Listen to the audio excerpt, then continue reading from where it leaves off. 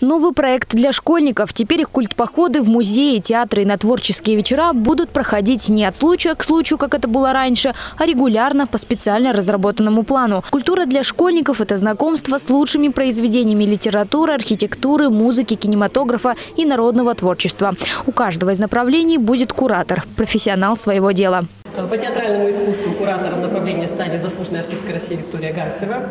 По литературному направлению мы определились, поскольку это все-таки работа со школьниками, что это будет директор детской библиотеки Людмила Санкина. По народной культуре мы определились так, что это будет музейщик, и это будет заведующая отделом традиционной народной культуры художественного музея, то есть человек с глубоким научным погружением Татьяна Боровцова. А музыкальное искусство будет сопровождать Светлана Ивановна Прокофьева, директор музыкального колледжа. Дмитрий Петренко, направление все, что связано с художником и изобразительным искусством.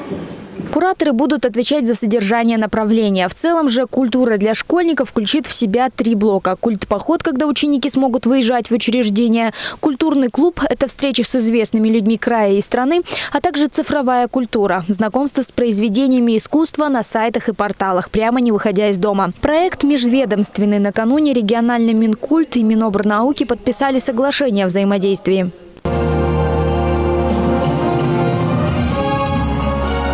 Образовательном ведомстве уверены, культура для школьников пойдет на пользу учащимся. А у сельских школьников, так же как и у школьников города, а, городов вообще, а, сегодня есть все условия, потому что сегодня у нас цифровизация дошла даже до самых маленьких населенных пунктов Алтайского края. У нас есть высокоскоростной интернет в школах. У нас сегодня практически все школы оснащены интерактивным оборудованием, поэтому у каждого ребенка сегодня есть возможность посетить цифровые ресурсы, которые предлагаются в рамках этого проекта. Каким будет проект на практике, еще предстоит узнать. Очевидно, что он поспособствует повышению эрудиции школьников.